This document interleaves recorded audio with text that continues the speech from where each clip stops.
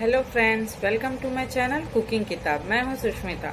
आज मैं आप लोगों को महाराष्ट्रियन ब्रेड ब्रेकफास्ट की रेसिपी बताने वाली हूँ। लेट्स गो कोतमीर की चटनी बनाने के लिए हमें चाहिए कोतमीर, हरी मिर्ची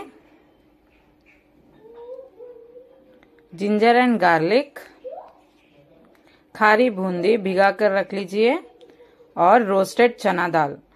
नमक स्वाद अनुसार हाफ़ लेमन और टू स्पून ऑयल ऐड करके इसे ग्राइंड कर लीजिए। अभी ये रेडी है खाने के लिए।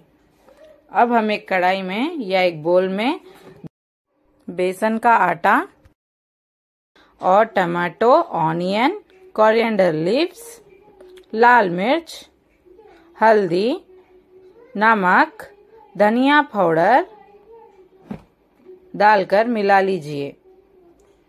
अब हम इसमें थोड़ा थोड़ा वाटर ऐड करते हुए इसे मिला लेंगे।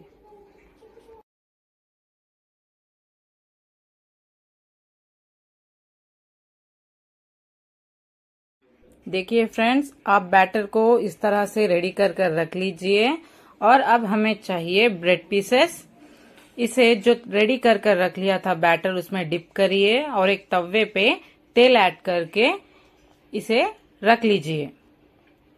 ये ब्रेड स्लाइसेस को आप अच्छे से सेक लीजिए। थोड़ा सा ऑयल ऐड कर लीजिए।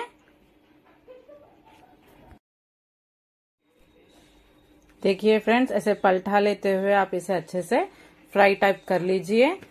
आपको बहुत ही टेस्टी लगेगा ये रेसिपी देखिए फ्रेंड्स ये ऑलमोस्ट दोनों तरफ़ से अच्छे से फ्राई हो गए हैं। अगर आप लोगों को मेरी ये रेसिपी अच्छी लगती है तो लाइक शेयर एंड सब्सक्राइब ज़रूर करिए। फ्रेंड्स अब हम इसे कोतमीर की चटनी के साथ सर्व कर लेंगे।